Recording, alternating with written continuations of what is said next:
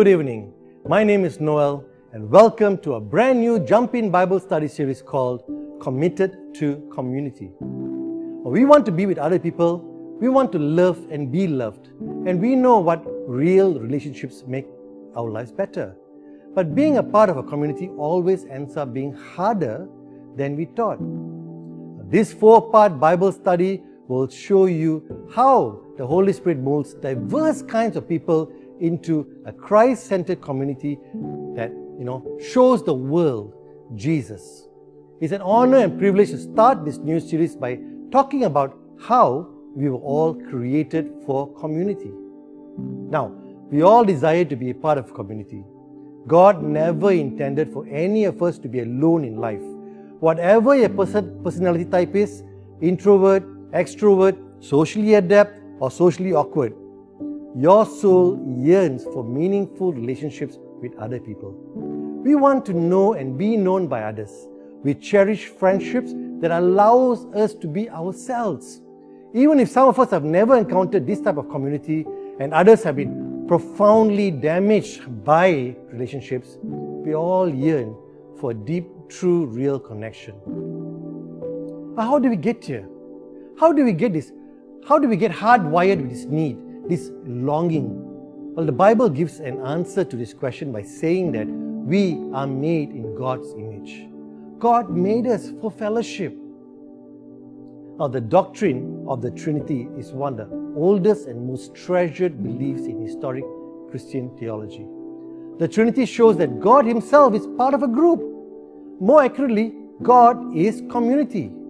Now, there is only one God, but there are three people who make up God before all the worlds, which means before there was any kind of human community, God lived in perfect, loving harmony in His three persons God, the Son, the Holy Spirit. In the biblical account of creation, this triune God says, Let us make man in our image. This is found in Genesis chapter 1, verse 26. Human beings are made to God's image to reflect His likeness. That's why our longing for community seems, seems so deep and primal. It's how we were made as God's image bearers. So, if community is something we all want, if it's part of being made in God's image, then what makes it so hard to attain? What keeps us from achieving the type of meaningful human relationships that God has wired for us? If you think for a moment about the nature of your relationships, you'll quickly see that there is something darker and more sinister than your God given desire for community. It's the tendency to use other people to get what you want. It's easy to see how often we only care about ourselves, looking out for our own best interests and avoiding people and relationships that will ask too much of us. Think about the times you have avoided someone on purpose because they bothered you, or the times you said what people want to hear to avoid offending them, or the times you have given up on certain friends because they were no longer useful to you? Or what about the times you stayed in a bad or unhealthy relationship just to stop feeling alone? Sin is what the Bible calls the fact that we are selfish. Now, when we hear the word sin, we usually think of doing something wrong. But sin is deeper than external actions. The Bible often talks about sin in terms of not believing. In other words, instead of believing what is true, we believe lies, which obviously leads to bad behavior, attitude, and bad feelings.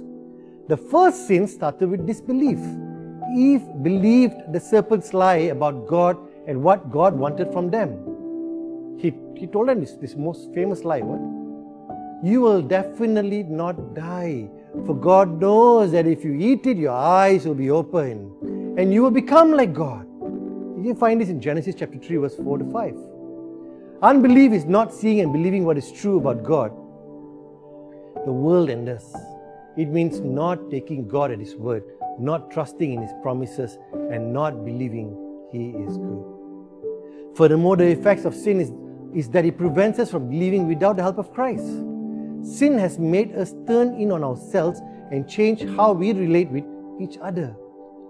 We need someone who can save us from our lack of faith and selfishness and give us back the ability to be a part of a real, deep, long lasting community. We are also redeemed for community. We are redeemed for community, right? Redemption that God, Jesus, everything He did for us is so that we could be a part of a community, right? And here is where we meet the good news of the gospel. Now, the gospel means good news, right? In English, it is a message, a proclamation, or an announcement. And one of the strange things about this message is that it starts with bad news that we are sinful, broken people. We have turned our backs on God. We get stuck in lies and, and the worship of ourselves. We look to things other than God for our identity and meaning.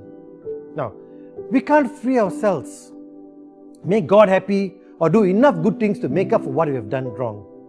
But God has a lot of mercy. He sent Jesus just for that, as a substitute for all of us. Jesus lived his life as if he were us. He obeyed God completely and worshipped Him fully, which we didn't do. In fact, even Jesus had his own community. Everywhere he went, he had his apostles, his disciples with him. In his death, Jesus substituted himself for us by paying the penalty we owed God for our sin and unbelief. If we are humble, we admit we need him and turn to him God, the Holy Spirit, and the Holy Spirit will apply Jesus' work as a substitute to us by faith. The Bible calls this redemption, which means to be freed, brought back, or set free. What does Jesus free us from? Sin and everything it can do. Why does Jesus buy us back? So that we can have a life that looks like God and shows the world how good He is. In other words, one of the most important things that Jesus does when He saves us is to restore our ability to be in a community. Not for a group of people who look and act like they say the same things, but for a group of people from every tribe, every race, having different languages, and all the countries of the world. You can find this in Revelation chapter verse, verse 9. It's Revelation 7, verse 9. God made us for community, and Jesus saved us so that we can be in community. By doing this, He has made us into His own body. 1 Corinthians chapter 12, verse 7, 1 Corinthians chapter 12, verse 27, which means, which says, you can live, love, and share His good news with our friends and neighbors.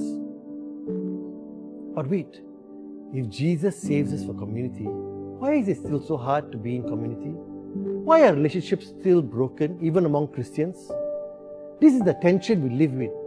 While Jesus has freed us from sin's power and punishment, He has not yet conquered it. It's still around. Sin is always with us. We often don't believe it. We often forget the good news of the gospel and go back to telling lies and worshipping of ourselves. Because of this, the Bible tells us not only to accept the gospel, but to stand in it. Look at 1 Corinthians chapter 15, verse 1 and also to continue in it, which you can find in Colossians chapter 1 verse 23. In other words, constructing and appreciating a healthy community will necessitate our belief in the gospel that what Jesus did for us has force and significance in our relationships with God and others. This is something we must pay attention to on purpose. It means figuring out what's in our hearts we don't believe, which makes it hard for us to love and serve others and to receive love from others. It means getting the healing, freeing the truth in a way that lets us sink deep into our souls. And can you guess where this work of change is going on? Yes, in a community. So, how does being a part of a community change us? Did you ever notice how patient you can be if no one gets on your nerves? Or how loving you are if people around you are easy to love? Or how humble you are if people like and respect you? We are all saints when we are alone. But in a community, our weaknesses, flaws, and sins are shown for what they really are. Because of this, community is not optional for change, it is necessary. We can't grow into the people God wants us to be if we are alone. You can't stop the story of redemption. You can't stop it at all. God is preparing us for a new heaven and a new earth where righteousness lives. You can find this in 2 Peter chapter 3 verse 13. His goal is a new world where people like you and me who have been saved lived in perfect peace with each other and with our creator. God wants to get his people ready for a glorious future by changing them now. This is what the Bible calls sanctification. The agent of sanctification is the Holy Spirit. The tool of sanctification is the gospel. Community is a is a setting for that sanctification. Think about some of the times the Bible says one another. Love each other like brothers. Show more respect than the other person. Romans 12 verse 10. Make each other happy, agree with each other, and live in peace. 2 Corinthians chapter 13, verse 11. Don't let your freedom give you a chance to be selfish. Instead, serve each other out of love. Galatians 5, verse 13. Be kind to each other. Have soft hearts and forgive each other. Ephesians chapter 4, verse 32. Don't we all know that we can't do all these things perfectly? These commands aren't just given so that we know what to do, they're also given so that we can try, fail, and learn more about God's grace. Try to follow these one other commands found in those verses I just shared. This will show us our sin, it reveals our sins to us, brings us to Jesus in repentance and faith, and makes us rely on the Holy Spirit to change us. And the best part is, in a community, a community, a connect group, a small group, church, this is the place where we will learn to depend on God's grace and experience the power of the gospel to change us. Community is also the main setting for our church's missions, which is our focus on the outside world as Christians. God wants us to use our communities, no matter how messy or broken they are, to draw others to His story and to introduce them to Jesus the Redeemer. It's not just about us becoming more like Jesus, it's also about people who don't know Jesus coming to know Him as the Savior and their Lord. We sometimes treat community like a safety net under a tightrope walker. It's a good thing to have in case something bad happens, right? But the Bible talks about community as if it's the tightrope itself. You can't move forward without it. We are created for community, all of us. We are redeemed for community and we are transformed in community. And that community is the community that you chose to be a part of, our church. When you come on a Sunday to worship with a group of people, that's a community of believers. Worshipping our one God, the God that we love so much. When you meet together in connect groups or prayer meetings, we're coming together as a community of believers, faith filled, hungry, and we are all here to support each other despite our weaknesses, despite the circumstances where we came from. That is what a church community is all about. Simply put, the gospel becomes real in the lives of Christians when we gather together in community. It shows how Christians should live together in Christ. And it gives us the strength to follow God's will and to do what He has commanded. Not only that, it reveals God's might to the whole world. This is so important. Community is not something to be afraid of, but something to welcome. And look, you know, sometimes we are afraid. Community just like relationships, right? Sometimes you want to step into a relationship, we are afraid of being rejected. But let me assure you, being a part of community, there aren't any more risks than what it takes to follow Jesus. No, nothing. It's so easy. And the beauty, the price is that you will enter into a life that God intended it to be lived from the very beginning. How can anyone refuse such an offer? As you break into your groups, discuss these following questions. I'm keeping it simple, just one, right? But I hope it will spur some interesting conversations among your groups. What keeps us from achieving the type of meaningful relationships that God has wired us for? Right? Discuss it.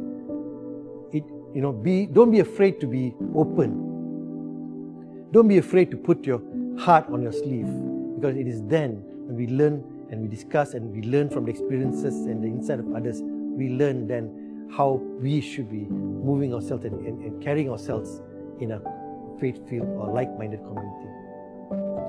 If you found this lesson interesting and helpful, oh, be sure to join us again on March 17 for part two of our Committed to Community series. Pastor Stella will be taking that message, and I'm, I assure you it's going to be a real powerful one, right? Have a blessed time until we meet again.